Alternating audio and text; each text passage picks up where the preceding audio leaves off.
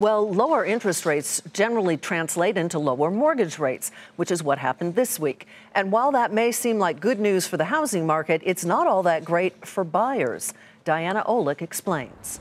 Falling mortgage rates are helping more house hunters make the math work on a monthly payment. The average rate on the 30 year fixed has fallen steadily since April, lowering that payment on every home for sale.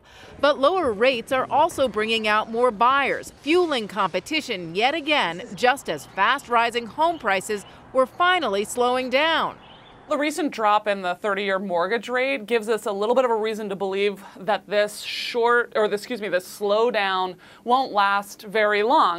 In fact, price gains are suddenly widening again. The median price of a home sold in May rose 3.6% annually, the largest jump in seven months, according to Redfin. Prices are gaining the most steam on the low end of the market where supply is leanest. Builders are of little help there. Housing starts dropped over 12% annually in May, and permits were lower as well.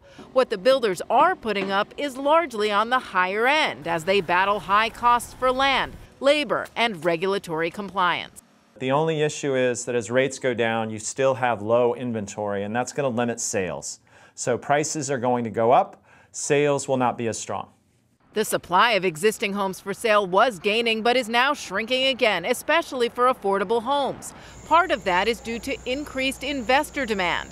At the end of last year, investors made up over 11% of home purchases, the highest rate since CoreLogic began tracking in 1999. The vast majority of those buying are small investors coming in with cash.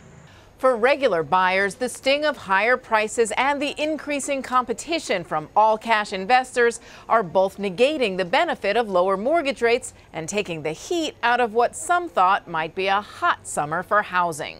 For Nightly Business Report, I'm Diana Olick in Washington.